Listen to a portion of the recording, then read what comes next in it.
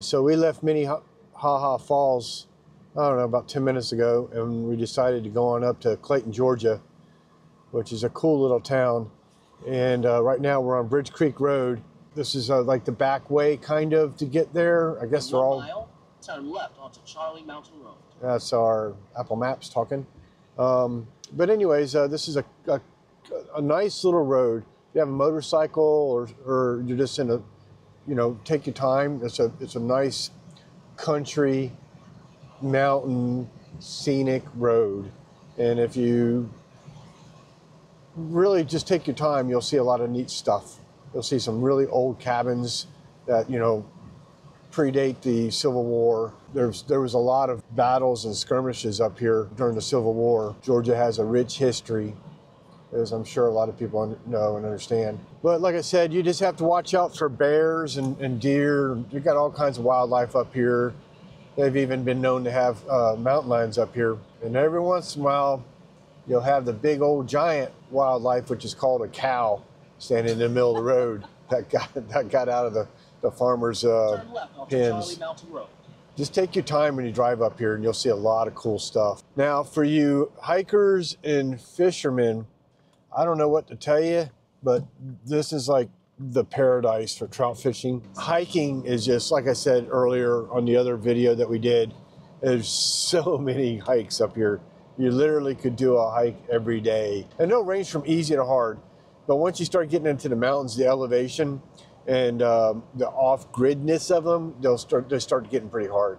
So just make sure you take your trekking poles and and I keep emphasizing uh, footwear. So make sure you take some some good hiking shoes or hiking boots. During the spring and summer, you really need to look out for rattlesnakes and copperheads up here.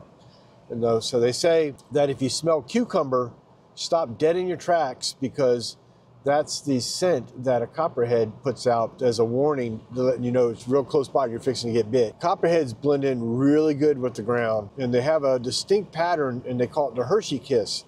So if they have Hershey kisses on their on the body, then you know it's a copperhead. Kiki, when I first moved up here about five, or well, about seven years ago, she actually got bit by a copperhead, and uh, at her at her cabin.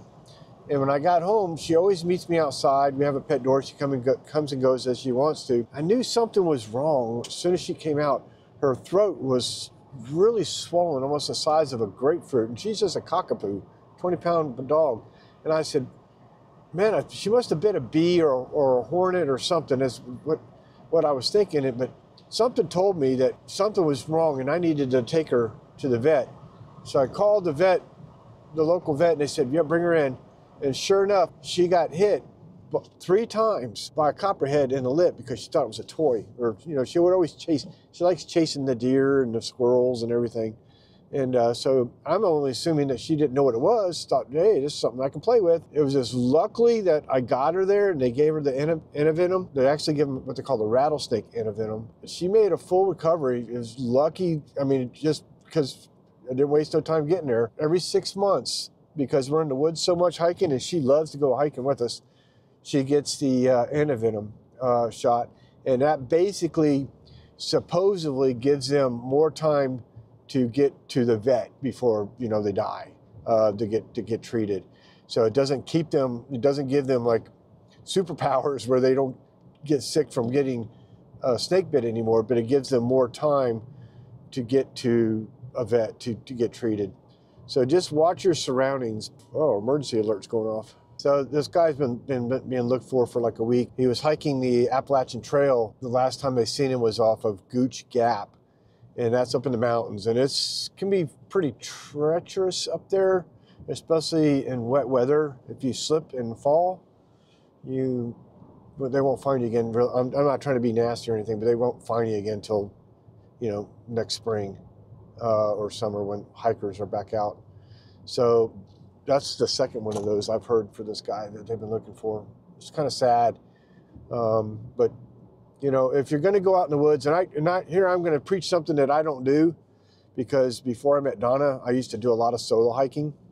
But if you have, but I took, I was smart about it. Like I would call my son and say, "Hey, look, I'm at this location. At the next stop sign, turn right. I'm at this location and I'm going to be gone for a three hour hike and I'm going to call you. If you don't hear me back by a certain time, then you know something's gone wrong. Kind of use safety and, and smartness about what you're going to do, especially if you like to go in the woods because you just never know. You could just fall and sign, turn right onto US 76. you could just fall and twist your ankle and you know you're so far back if you're two miles out in the woods and you twist your, your ankle two miles is going to uh, feel like 10 miles getting back because you're just going to it's going to be hard getting back um, so just let people know where you're at and the apple phones now they have the satellite isn't it the satellite thing babe uh, In six and a half miles, arrive at Clayton. So if you lose reception, because there's a lot of places up here you won't have reception, but they do have like the the 911 satellite thing on the on the phones and the watches now. That's one of the reasons why we went from Android to Apple for that function.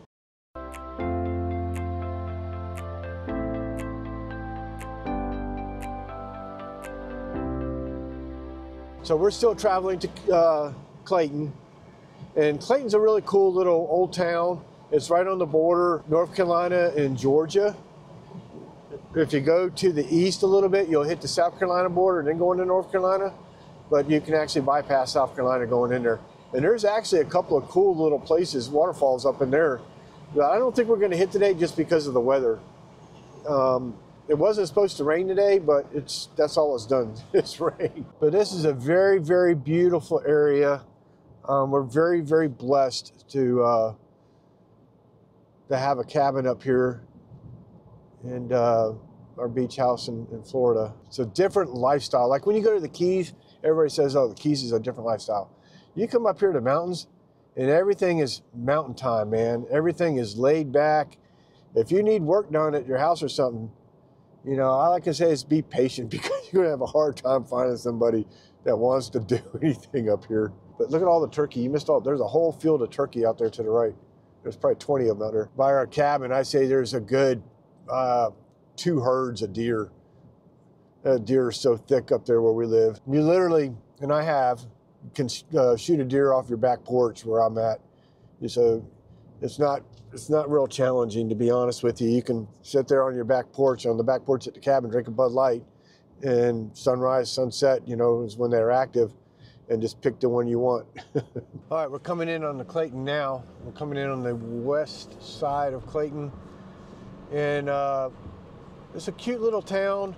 It has more services here, I guess to say. They have more restaurants, gas stations. There's a Walmart, and I believe it's a Home Depot. Up in this area, there's a lot of um, honeybee keepers. You'll you'll see what they call the honor system for. Uh, well, they'll have like honey uh, for sale on the side of the road, and you basically pull up and you can buy whatever honey you want. They'll have a, like a list of what the honey is, and you put the honey in, or the money in the jar, and you. You take what you bought. This is like the access point. This is the last city going into North Carolina, last big city going into North Carolina uh, or yeah, from Georgia to North Carolina. So the gas is a little bit cheaper on this side of the border, but it's a it's a small little um, mountain town. You'll kind of see it up here. We're going to be like in the little valley above the headlight or the stoplight. You can't really tell because of the fog that's in here right now, but the mountains are right ahead of us. And it's a, just like I said, a, a, a quaint little mountain town. Where they still have a lot of mom and pop uh, stores.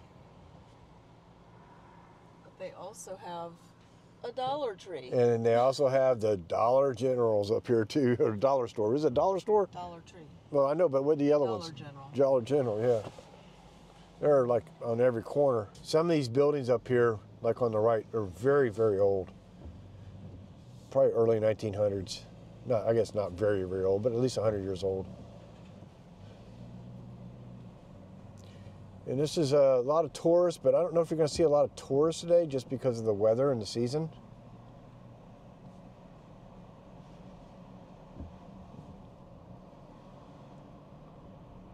But look at the mountains ahead of us. If the fog wasn't there, you could see some of the colors on the trees still. It's a very pretty area. And this is 441 or 220 or 23, which is the main um, uh, road that comes through basically northeast Georgia. And like I said, you got a little bit more of the uh, gas stations and restaurants. A lot of these towns uh, up here, they might have one or two gas stations, and they're not they're mom and pop places. So, in uh, restaurants, you just really the best thing to do is just kind of ask the locals where they eat, and there'll be some like a buffet or something like that uh, up in here. But we're going north towards North Carolina right now. I don't plan on going all the way to North Carolina, but I'm to take Donna to a place that's kind of like a tourist uh, destination if the weather will cooperate with us, where you can get out and walk around the little shops and stuff. It's pretty pretty neat. But this is a very beautiful ride. If you can, you can tell up here, we're coming up into the mountains. Tallulah Gorge is south of us, and uh, that is a really cool place to go check out. Uh, when we and Donna were dating, I actually took her there. We went hiking for the day there. Uh, but Tallulah Gorge is beautiful. If you ever come up here, put that on put on your list, man. That is 100% to do. Where is the hike with all the steps? Em- Emma Falls, Okay. 686 or something like that steps up. lot. Yeah, it's, it's quite. It's, yeah, it's all going up. It's all elevation, man. We'll have to go there and do a video. Nah, I'm good. No? Yeah, we could do it. want to I wouldn't wanna do- see us panting? Yeah, I tell you, I wouldn't. know. That's like when we went to Creede, and went 10,000 feet up or whatever that was. We did that hike. Oh my God! Bring oxygen. Take oxygen with you. Yeah, I think it was about 13,500 feet. It was crazy tall. top of that hike. Man, We didn't hike all the way up, but now we were camping at like maybe nine or 10,000 feet elevations. We, came, we hiked about 3,000 feet, I think. we are taking oxygen with us this time. Yeah, that was. If you're going to do any kind of altitude, definitely how, get those disposable, or I don't. I think they're disposable, right? They're not refillable. Yeah, they're disposable. uh, oxygen things. Just you know, uh, I would, and we are going to do that uh, when we uh, go on our big trip here in February. So you guys, we're gonna. I don't. We keep telling everybody we're gonna be at Quartzsite uh, Truck Rally in February, and then we're gonna hang out in the Midwest for a couple months, and then we're gonna try to cross the border into Canada in May, and then Alaska. So this is Black Black Rock Mountain. Okay, that's what it's, it's Black Rock Mountain State Park. It's on top of the mountain up here on the left. It's a really nice state park. You can't see it. I don't. I don't know if the camera's picking it up, but the mountains. Yeah, the mountains are right there on the right. Uh, you're, we're like in a little valley right here.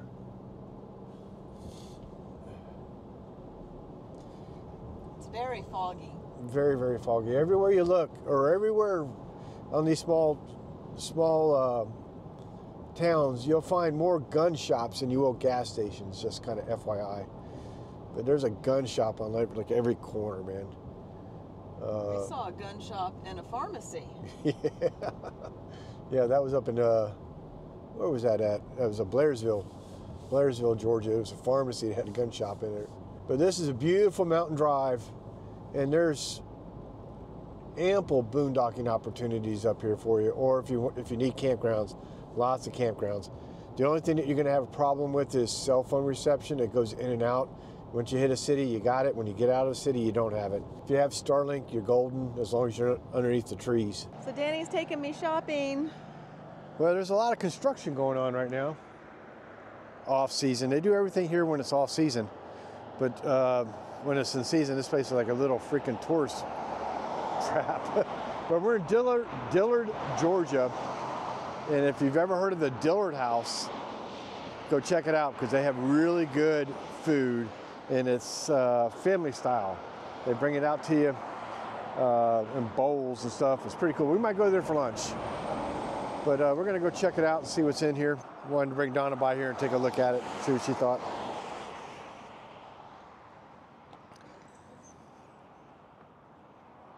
Are you gonna stand in there in the rain? Come on, crazy.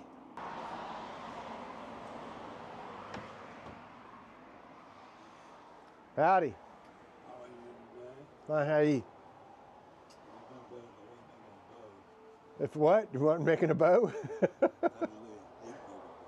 Why are you making it then? Because customer wants it. Oh, customer's always right. No, customer's always the customer. Customer's always the customer. I never heard of them. at home. They're, it's a Willow Tree figurine. Never heard of it. They're really cool. They don't have I no have faces. A, a mom holding a baby. You notice that? There's no faces. Oh, look. Even the camels, and the, that no, no, nothing has faces. There's a nativity. Look at this.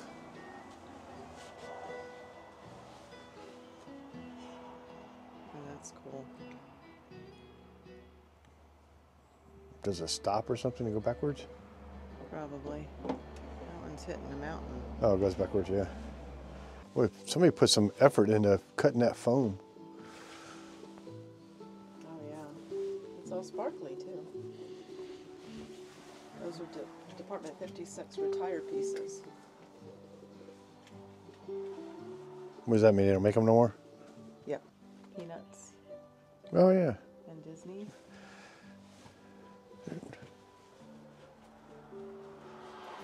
Snoopy. If you like the Disney ones. Wow. And this is the pink section. You called it the pink section? Yeah. And this is the Gator section. Georgia section.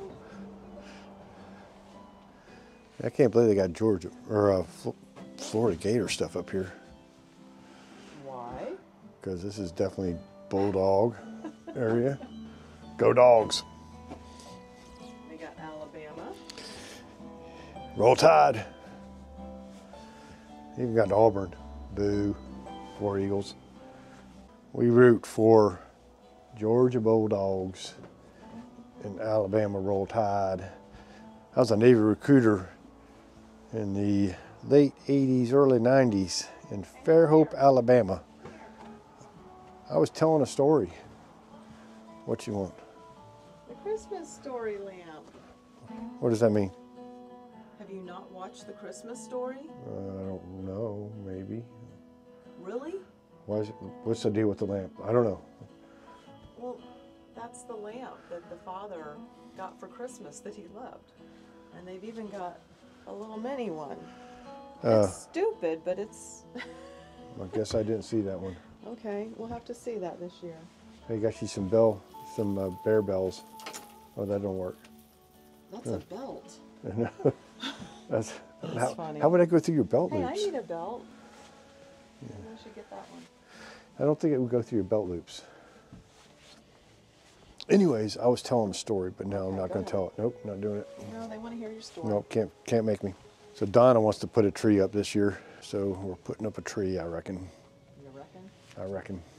Should we put some wine bottles on the tree? Well, we'll have plenty of them around it. That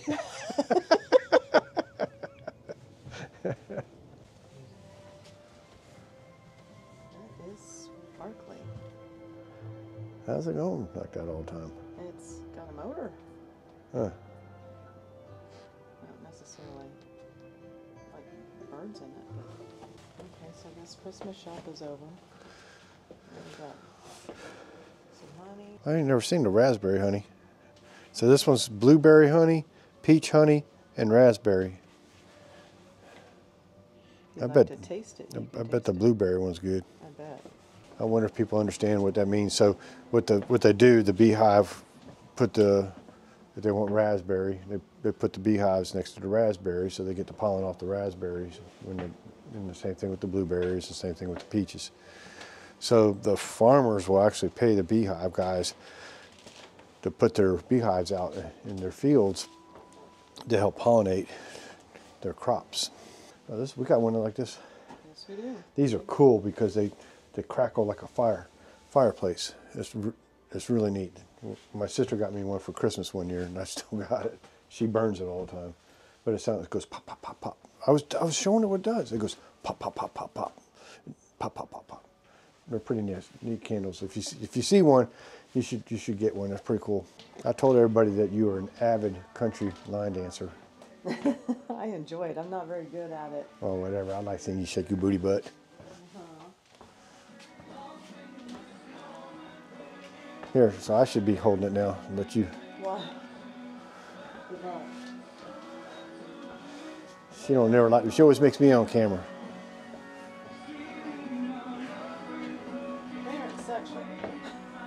She's always looking for the clearance section. Puzzles. Donna is an avid puzzle person. I don't have the patience for that. Oh, those are cool. Look at that. It's like a T-Rex head, Oh yeah. a bear.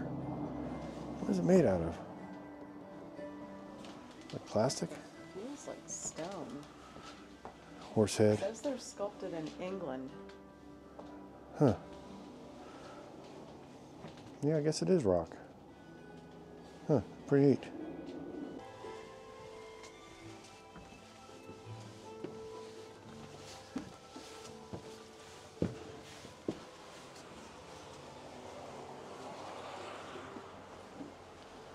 He finished his bow. yeah.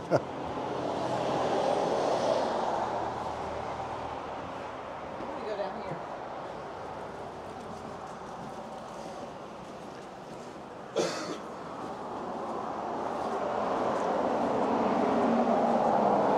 It's like an antique store or something right there.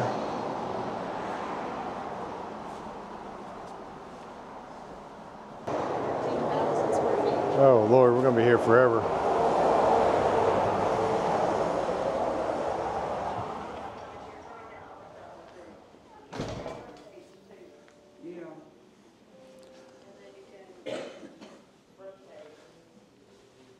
I always say that we're in here buying dead people stuff. Donna loves to go to those. Um, what do you call those things that we went to? Flea market? No, where people had the, but you buying dead people stuff. Estate sales. Estate sales.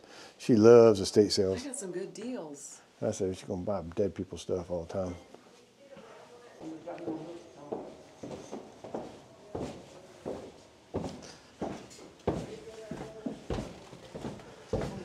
So Donna said this name of the place was called Upstairs Downstairs.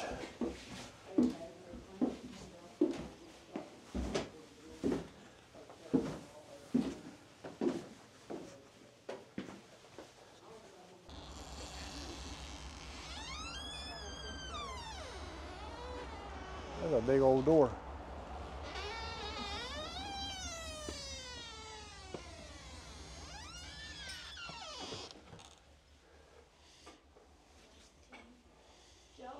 It smells like dead people stuff.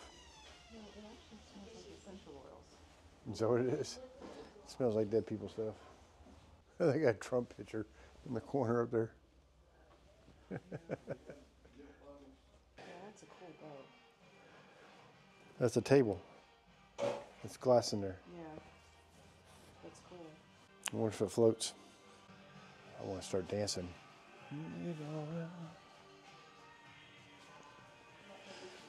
Stop it. I only do that in private, baby. you better bring some five dollar bills too. Five dollar bills. It, well, inf- inflation. Used to be dollar bills, now it's five dollar bills.